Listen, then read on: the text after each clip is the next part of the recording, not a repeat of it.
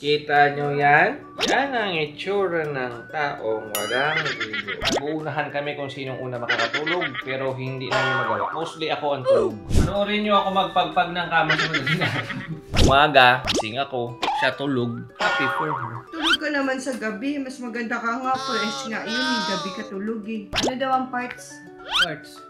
Short ng partner. Ah, kala ko parts of the body. Hey! Gusto namin talaga ma-experience to. At itong experience na to, gusto namin ma-experience nyo rin. Hi! Ako si Benj! At ako naman si Lovely. And this is Bentley the Panga Stories!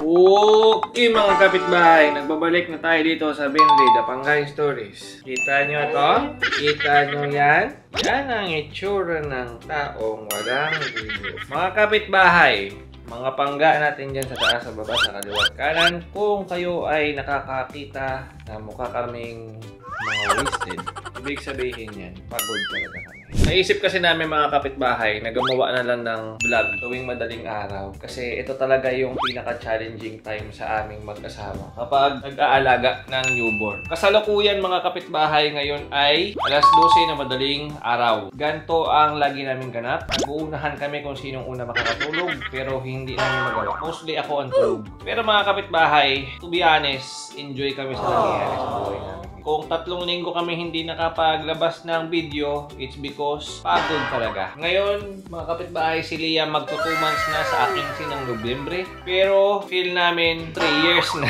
Parang 3 years na to nangyayari sa aming mga parts. Samahan nyo kami parts na gagawin namin dito sa Bendy the Pangay Stories. Panoorin nyo ako magpagpag ng kama sa araw. Nadot na kami ng mga gantong oras na bilat ang mata. Ano kasi mga kapitbahay, para ma-explain lang namin sa inyo, noong mga past few weeks talaga, hindi kami makapag-vlog gawa talagang pagod talaga. Hindi talaga pagod mga pangga.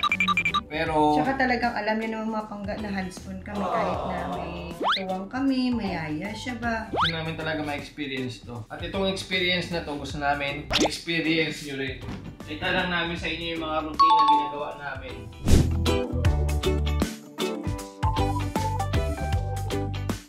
Actually mga kapitbahay, hirap na hirap na kayo magpatulog ng bata. Kasi syempre, bagong magulang lang ulit kami, nag-experiment kami ng mga bagay-bagay kung paano nga ba makatulog ang bata na maayos syempre. Meron kasi tinatawag yung mga SIDS, SIDS, yung Sudden Infant Death Syndrome. Yung hindi alam talaga kung ano yung cause, mamamatay yung bata, ah, below 6 months or 1 year ang bata, medyo delikado. So ang dami namin naririnig. Marami talaga kaming maano, pero sabi namin, mag-rely na lang kami sa kung ano yung instinct din namin. Ang nagiging schedule talaga namin is umaga, gising ako, siya tulog, happy for her. Tulog ka naman sa gabi. Mas maganda ka nga. Fresh nga yun eh. Gabi ka tulog eh. Feeling ko naman ma, pareho lang din tayo ng struggle sa umaga sa akin. Struggle din kasi nandyan yung paligo, kain na naman siya, gising. Pareho lang tayo. Pareho lang talaga. Walang Pero sabihin natin na pinag-usapan namin mga pangga, hindi kami hindi kami mag-away. Experience namin for the past few weeks talaga enjoy. Ngayon, iniisip lang namin, i-vlog namin kapag madaling araw yung mga nangyayari sa amin kasi ito talaga yung challenging times. Tsaga-tsaga lang. Hindi ko alam kung ano pa yung sabihin namin. Hindi ko alam kung may naintindihan kayo. Sige mga parts, may ano lang ulit ha. Ano daw ang parts? Parts. Short ng partner. Ah, kala ko parts of the body. Wali. Wali. Wali tayo mamaya. Wali.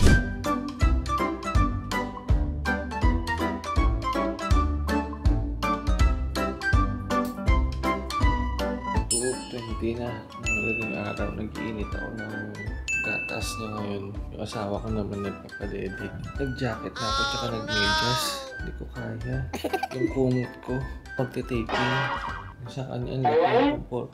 Yung pork na nilalamig ko.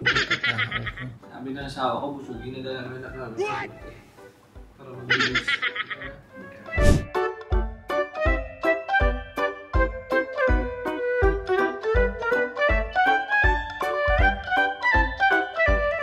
Tingin yung mga kapitbahay, matutulog to ngayon. Ganito kami lagi mga kapitbahay sa madaling araw. Burping ko lang to mga kapitbahay ha.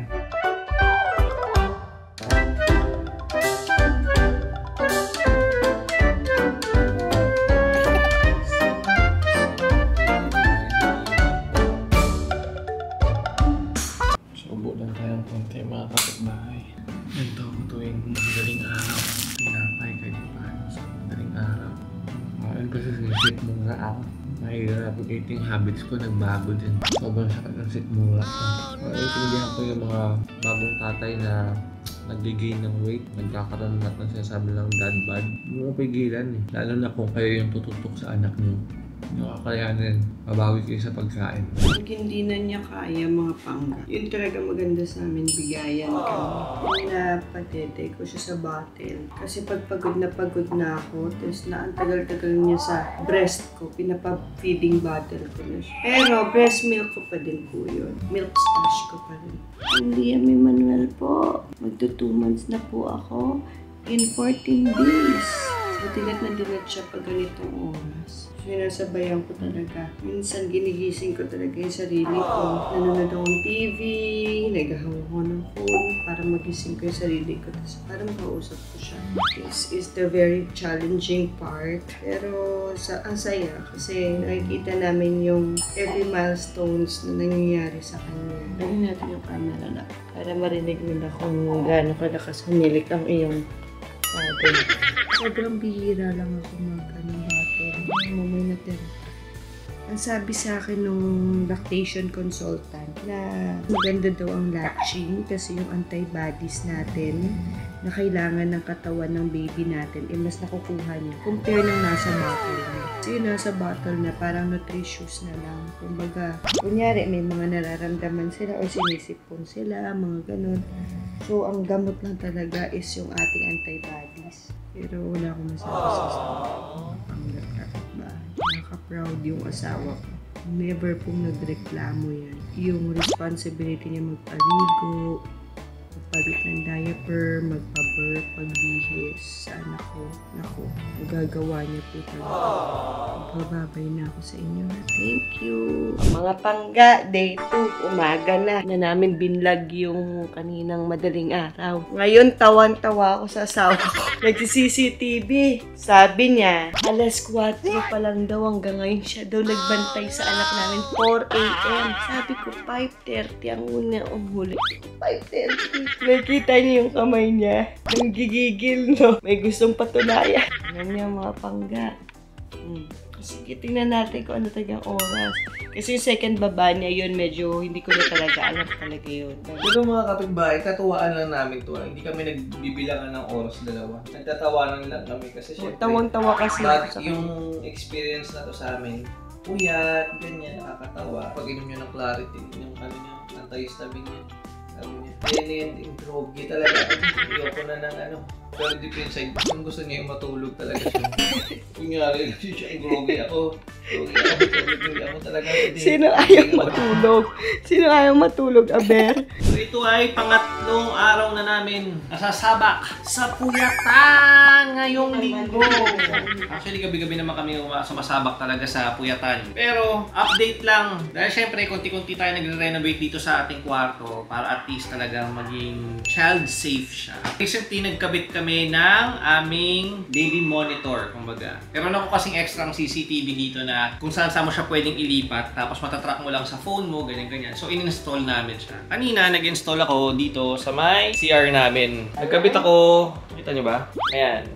Nagkabit ako dyan ng CCTV. Tapos sabi ko, yung isang extra, lalagay ko dun sa may kama namin. Which is, ayun, andun sa sulok. Pero ito ang kwento niyan mga kapitbahay, kung bakit nga ba siya napunta sa sulok. Kasi ako ay nasugatan. Sobrang kabado ko, syempre. Ang nangyari, nag-message kagad ako kay Uncle Doc Vincent Sia at sa aking kapatid na si Mikey Manalo na matitetano ba ako kapag ako ay natusok nito. Sabi nila, malayo naman yung chance pero for safety, magpa-anti-tetano na lang ako. Nilinis ko siya ng agwa oxinada at ng betadine kanina. Pero for safety, nakiusap ako sa kanilang mag-asawa na pwede bang dito na lang ako sa bahay turukan ng anti-tetanus para safe. Kasi kapag sa anti-tetanus ka pala, kapag naganon ka, 72 hours bago matu- na para maturukan kung hindi, wala nang remedyo. It's very deadly. So mamaya pupunta sila dito para i-check up yung aking tinusok. Yan ang update natin dito ngayon sa Casa Manalo. Ay, sa Casa Manalo, sa aming bahay. Ang daming nangyayari. Hindi na namin nakukuhaan yung iba kasi syempre pagod-pagod kami. Pero masaya kami. Update lang, no? Si Liam talaga grabe, guys. Mag-latch. Malakas na siya kumain. At the same time, malakas pa siya matulog kapag umaga hanggang hapon. So for sure, mamayang madaling araw, may kalbaryo na naman kami mag-asawa. It's 8.30, nandito sa kwarto dahil ang aking asawa ay nagtatrabaho, nag-live selling siya. Medyo tahimik naman si Liam, kaya kung kaya ko, sasabayan ko siya matulog para hindi masyado masakit ang ulo mamayang madaling araw. That's our update for tonight. See ya! Kasalukuyan po, hindi pa nagigising yung asawa ko. Wala pa po siyang gising ngayong madaling araw. Napadede ko na. Papalitan ko na rin ng diaper kasi nabasa na po siya sa lakas po ng wiwi. Hi, Liam Emmanuel. Hello po. Hi, everyone. Opo, opo. Grabe, no? Parang kailan lang baby-baby siya. Hindi mo pang gagaba, oh. Di bali okay na yan. Ang importante na ano siya. Mga panggabalikan niyo po ako later. Tingnan natin kung may katuwang ba ako ngayong araw na to. Mga kapitbahay, noong oras na. Mag-alas 6 na umaga. Nagpapadede siya. Tapos nagla-live. Nagla-live sa TikTok. Para multitasking. So, ayan po. Ako naman, umorder na ako ng ano, brightening lip mask. Grab breakfast namin. Update mga kapitbahay. Nakakain na kami ng breakfast. Nakikipagtitigan pa rin yung ngayon yung dalawa. Kumain na siya din. Ayun, Kumain na daw. Ano naman kami magawa, diba? This is like 1.30 a.m.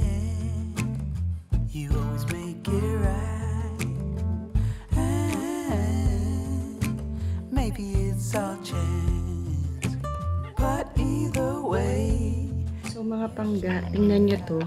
Habang binibihisan ko siya, binihian niya. Uhuhu.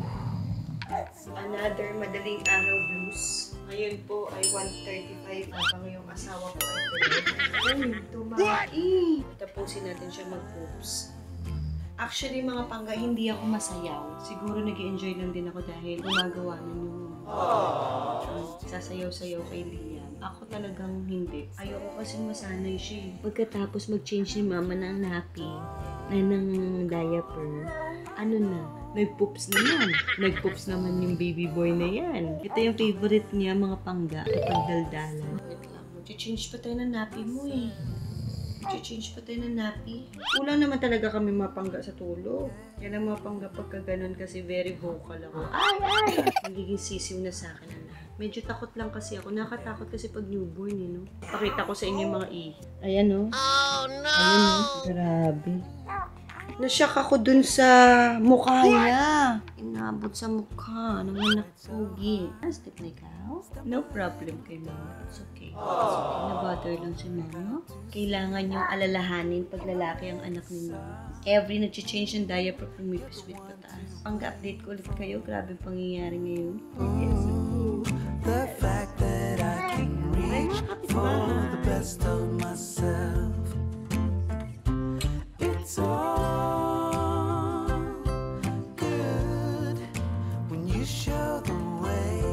mga kapitbahay, mahaba na matulog si, ay magising si Liam. Sabi ng asawa ko simula 1.30 daw. Mula daw kanina, nung clip na to, hanggang ngayon, di pa siya natutulog kasi talagang nakikipagtitigan lang siya. Hindi namin alam, mga gusto kaming gawing lakad, hindi namin alam kung magawa namin yung lakad namin, paano. Yan naman boses namin, no, paano na. Balak sana namin pumunta dun sa black screening ng Instant Daddy. Sobrang ganda ng pelikula na yun. Part kami dun, small roles, pero sobrang happy kami to be part of it.